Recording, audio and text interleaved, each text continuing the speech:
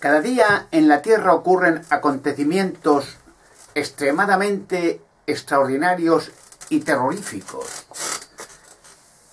Hay eh, cosas que la gente no entiende. Suceden, pero no lo entiende. Es como, eh, por ejemplo, el que aparezcan cada vez más meteoritos y aparecen y desaparecen. Que haya cilindros y ovnis que se introducen en los volcanes, como en el volcán Popocatépetl y en otros. Que aparecen círculos y pictogramas impresionantes en los sembrados de trigo, colza y cebada de todo el planeta. Aparecen luces, se oyen trompetas de que vienen del universo, se acercan grandes naves impresionantes hacia la Tierra. Naves, hay una nave extraterrestre aparcada en la Luna que se moverá muy pronto. La nave del Apolo 20 o donde estaba el cuerpo de esa mujer, la Mona Lisa, que ahora la tiene el gobierno norteamericano en el Aire 51 para reanimarla. Se reanimará. Y hay naves de kilómetros, de miles de kilómetros de larga, esperando. Es increíble, lo sabe. Hay infinidad de cosas que suceden porque hay una guerra ahora en la Tierra, una guerra impresionante entre seres de la oscuridad y seres de la luz. Claro, hay en mi caso una forma de persecución que tienen estos eh, seres de la oscuridad con sus organizaciones que controlan el mundo. Una vez dijo, está grabado en, en una interview que se hizo a la ex abogada del Banco Mundial, Karen Judes. Dijo claramente lo que yo había dicho durante años, que la Tierra está gobernada por seres de la oscuridad extraterrestre, pero desde hace miles de años. Por decir aquello la echaron y ya la persiguieron y la prohibieron hablar en cualquier medio de comunicación televisivo, salvo en Internet.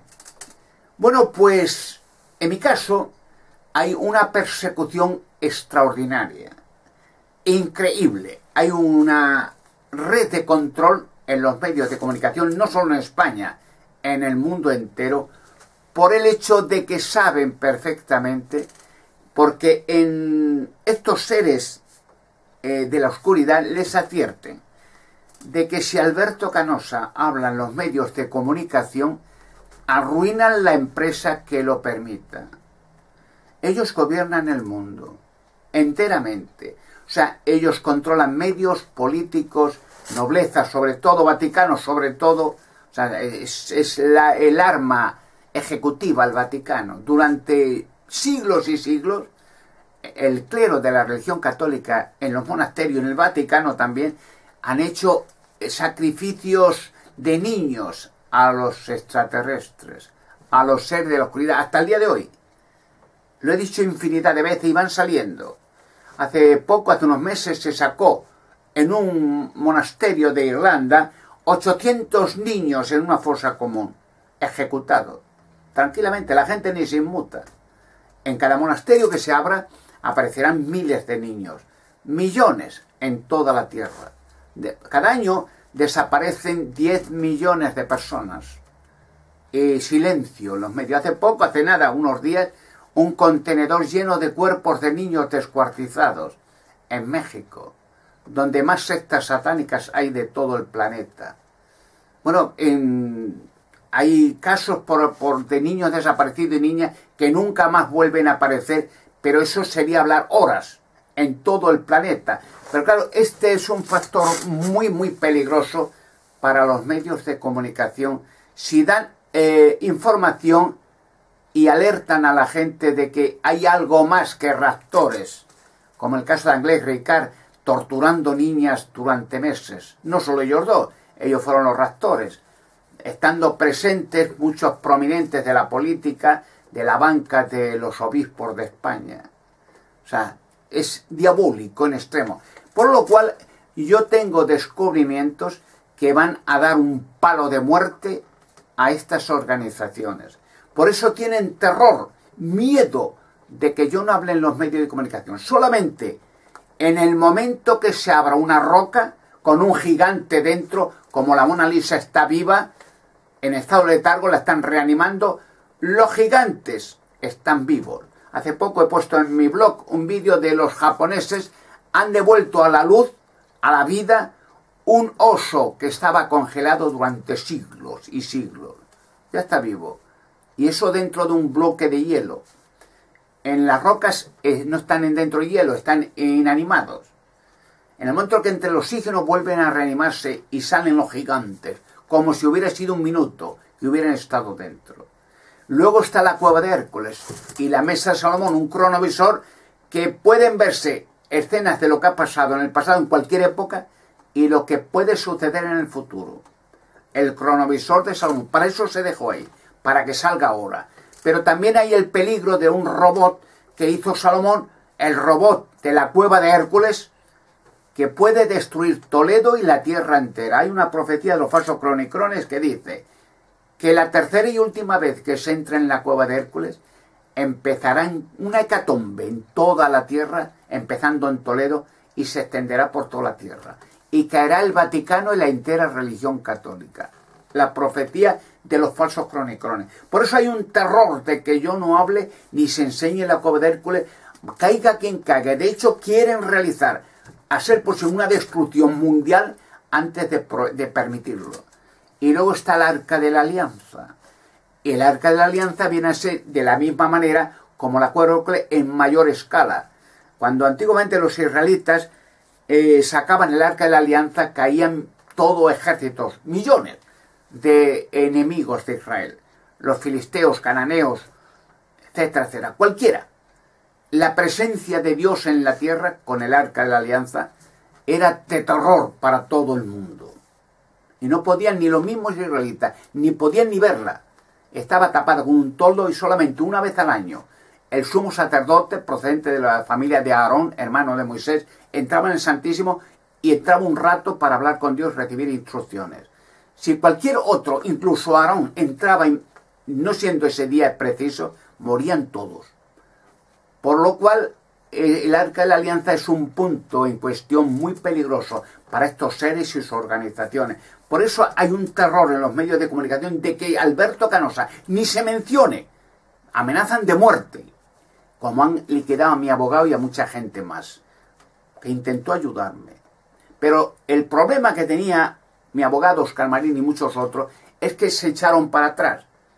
El temor al hombre, dicen las escrituras, es un lazo. No hay que temer. El hecho de echarse a cobardarse y rendirse al miedo, al terror, le hizo caer. Cuando en la Sagrada Escritura, eh, ese relato del mar de Galilea, que Jesucristo anda, sobre las aguas, y le dice al apóstol Pedro, estaba en una barca, eran pescadores, eh, tenían miedo de ver a Jesús andando, no que podían creer un fantasma, decían, eso no puede ser. Y Jesucristo dijo, soy yo, no tengas miedo. Y Pedro dijo, si eres tú, Señor, dime que vaya a ti, que ande, también sobre las aguas. Ven para acá, ven. Y Pedro tranquilamente salta de las aguas, de la barca a las aguas y anda. Empieza a andar hacia Jesús sobre las aguas. Pero el miedo, cuando miró la tempestad, el viento o la sola, el miedo perdió la fe y se hundió. Y Jesucristo lo cogió de la mano, lo levantó de nuevo sobre las aguas y dijo, hombre de poca fe, ¿por qué dudas? Por lo cual el dudar es la perdición. Y también está eh, un arca, eh, una nave de Salomón, que, con la cual trajo el arca de la alianza a España. Salomón venía cada tres años durante 40 años a España. Se llevaba toneladas de oro dofir de España hacia Israel durante 40 años. Y el último viaje dejó el arca de la alianza en una gruta muy secreta, conocida por mí, y, llenó eh, la nave con toneladas de oro y la dejó en una cueva, una gruta protegida, para que sea testimonio final de la presencia de Salomón en España, el que hizo la cueva de Hércules, de igual manera. Por lo cual estos descubrimientos serán un palo de muerte para estas organizaciones satánico-criminales. Lo cual soy el personaje más temido del planeta. Así que hay una red de terror en los medios de comunicación para que Alberto Canosa no hable bajo ningún concepto o van a por ellos. Son gentuza criminal sin piedad. Hay un problema que muchos de mis colaboradores y amigos y seguidores guerrilleros es el problema que he mencionado algunas veces. Es decir, bueno, si esta gente, incluso los extraterrestres, o los de la oscuridad y sus organizaciones, han podido liquidar al presidente Kennedy y a muchos otros que han, a lo largo de la historia que han querido sacar a la luz pública descubrimientos, ¿Por qué no le liquidan a Alberto Canosa y punto final? Se acabó el temor y el miedo. Pues la respuesta que le doy muchas veces es porque no pueden. Porque no pueden. Y lo han intentado muchas veces. Pero siempre eh, se devuelve el efecto hacia ellos. O sea, quiere decir que las organizaciones y la gente, o criminales a suelo que, que intentan mandar o acercarse a mí para liquidarme, perecen en el intento, caen muertos. Hay un efecto, se llama el efecto Balaam. Quizás este nombre de Balaam, un profeta de Israel, no le suena a mucha gente. Balaam era un profeta. Y era un profeta, los profetas podían hacer milagros. Y eh, los enemigos de Israel, eh, viendo que la, invasión de Israel hacia la tierra prometida de dos millones y pico de, de israelitas era inminente y protegidos por Dios, la única cosa que tenían los enemigos de Israel era ir a ese profeta, pagarle mucho dinero y decir, maldice a ese, al pueblo de Dios, para que caigan, parezcan. Y entonces te pagamos mucho dinero. Y en principio Balán aceptó y, y ejecutó una maldición, ya que era un profeta, podía cumplirse lo que él dijera. Era un profeta de Dios entonces. Y entonces, eh, con sorpresa, vio que lo que él decía se revolvía contra ellos y caían los enemigos y el pueblo de Israel se hacía más grande y más poderoso. Y vez tras vez iban hacia Balán, decía, pero bueno, no te hemos pagado, ¿por qué no maldices al pueblo de Dios que caigan enfermos, que caigan muertos, que, que, que desaparezcan? Y le dijo, es imposible maldecir al pueblo de Dios, porque las maldiciones hacia ellos se revuelven contra quien las hace y perecen. Y así fue el profeta Balaán, que por cierto, cuando aceptó dinero al final para maldecir una vez más, aun viendo que era imposible, pereció. Dios ejecutó ese profeta. Hay muchas cosas que van a suceder muy pronto, impresionantes. Aparte de los descubrimientos, impresionantes, cosas que van a asombrar, igual que asombran estos efectos que ocurren cada día más. Les voy a dar una pista de lo mucho que va a suceder en el futuro. Y acuérdense de este vídeo. Por ejemplo, y recuérdenlo, los cuadros, la mayoría, a partir de 1925 en adelante, los cuadros del pintor Salvador Dalí desaparecerán, se borrarán, aparecerán solo los lienzos. Los cuadros de Jerónimo Bosch, del año 1450, un pintor, se borrarán, desaparecerán. Solo quedarán los cuadros, los marcos. Muchos cuadros de el pintor Leonardo da Vinci desaparecerán, se borrarán. La sábana de Turín desaparecerá, se borrará. Recuerden estas pistas y cuando empiecen a suceder es una señal de que la liberación de la humanidad se acerca. Tardo o temprano hablaré en los medios de comunicación y no hay fuerza humana en la tierra que lo impida. Estos descubrimientos serán un palo de muerte a esas organizaciones que se derrumbarán completamente y una liberación para la humanidad. Así que ya sabéis lo que va a suceder dentro de poco. Y sigamos con el lema y el credo de los guerrilleros de Alberto Canosa. A por ellos, que son pocos y cobardes.